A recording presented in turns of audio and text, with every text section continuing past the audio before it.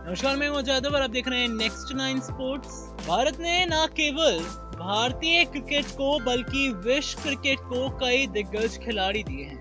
जी हाँ फिर चाहे क्रिकेट के भगवान कहे जाने वाले सचिन तेंदुलकर हो, या फ़िलहाल में एक दिवसीय खेलों में बल्लेबाजी और गेंदबाजी में शीर्ष खिलाड़ी विराट कोहली और जसप्रीत बुमराह हो। इसी तरह से क्रिकेट जगत में सिक्सर किंग के नाम से मशहूर रहने वाले युवराज हूँ, जिन्होंने फ़िलहाल में ही क्रिकेट के सभी फॉर्मेट से संन्यास ले लिया है। जी हाँ अंतरराष्ट्रीय क्रिकेट से जहाँ उन्होंने संन्यास लिया है तो वहीं भारत के दिग्गज खिलाड़ी युवराज ने भले ही क्रिकेट से संन्यास ले लिया हो, पर अब वो online fantasy cricket platform Ballebaazi dot com के ब्रांड एम्बेसडर बन गए हैं।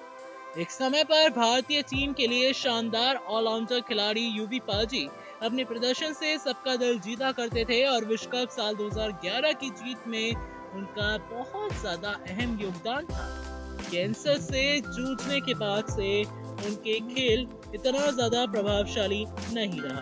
खैर, युवराज सिंह ने कहा मुझे खुशी है कि मुझे cricket fantasy league Ballebaazi dot com के साथ जुड़ने का खास मौका मिला है। इसके माध्यम से मैं अपने प्रशंसकों के साथ व्यक्तिगत रूप से जुड़ूँगा, क्योंकि इसमें हम अपने पसंदीदा खिलाड़ियों से टीम बनाते हैं। ये जोश और जुनून से भरे क्रिकेट प्रशंसकों के लिए सर्वश्रेष्ठ मंच है जो उन्हें खेल में अपने कौशल एवं ज्ञान को जांचने का अवसर देता है।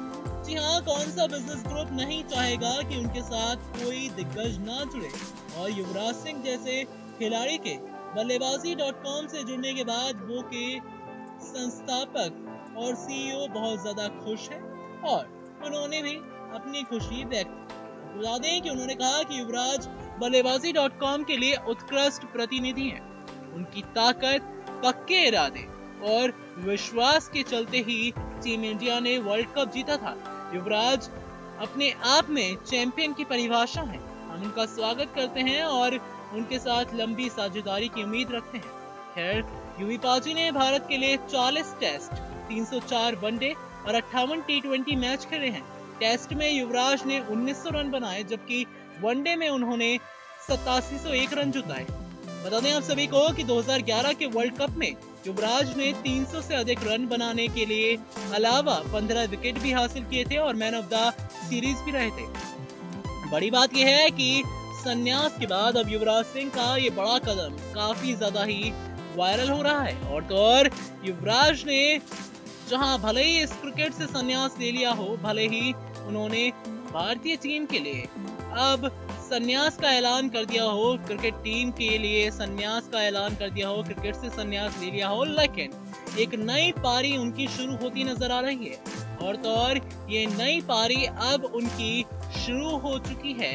Online fantasy cricket platform Ballebaazi dot com के साथ, जिसके ब्रांड एम्बेसडर युवराज सिंह बन गए हैं। जी हाँ अब कह सकते हैं कि भाई भले युवराज ने भारतीय टीम से संन्यास लिया हो, लेकिन उन्होंने अपने खेल से, अपने क्रिकेट से संन्यास नहीं लिया है। जी हाँ युवराज सिंह ने नहीं लिया है संन्यास अपने क्रिकेट से और अब वो online fantasy cricket platform Ballebaazi dot com के ब्रांड एम्बेसडर बन गए हैं और नज़र आएँगे आप सभी को वैसे ही। अपडेट्स के साथ आप जुड़े रहिए हमारे चैनल नेक्स्ट नाइन स्पोर्ट्स के साथ।